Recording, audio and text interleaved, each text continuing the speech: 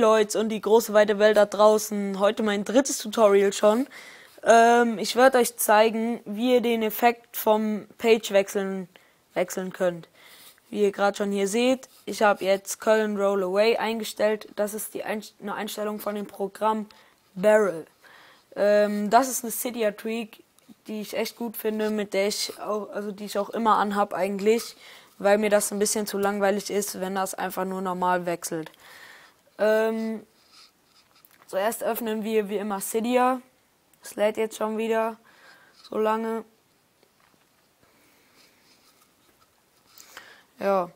Äh, falls jemand weiß, wie und ob man iPod übertakten kann, schreibt mir das bitte in die Kommentare, weil es würde ich echt gerne mal wissen, weil mein iPod richtig langsam geworden ist, seit ich den Jailbreak habe.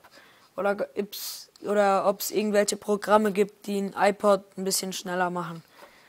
Hm, also geben wir einfach Barrel in die Suchleiste ein. Jetzt wird geladen. Jetzt sollte der relativ viele äh, verschiedene Barrels finden.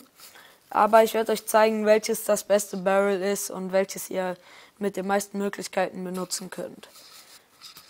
So, hier. Ähm, das erste Barrel, also das erste, zweite, dritte, vierte Barrel, beziehungsweise das erste Barrel mit dem wirklichen Barrel-Zeichen, wo ich gerade auch drauf geklickt habe.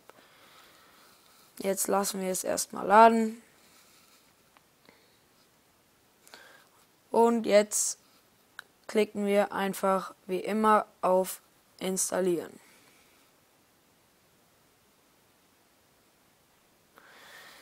Ihr drückt dann noch auf Bestätigen und so weiter. Wenn ihr das gemacht habt, wird es automatisch installiert. Dann öffnet ihr die Einstellungen. Jetzt lädt das bestimmt schon wieder lange. Hat, war gar nicht so lang. Dann geht ihr hier unten auf Barrel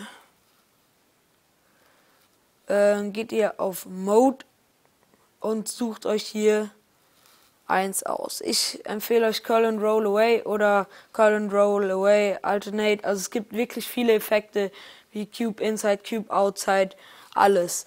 Äh, die kann ich euch jetzt nicht vorstellen, weil sonst das Springboard neu startet und meine Aufnahme stoppt. Also ich hoffe, das Tutorial hat euch gefallen. Das Programm wird euch garantiert gefallen lasst mir einen Kommentar und, äh, da und abonniert mich. Äh, dann bis zum nächsten Tutorial.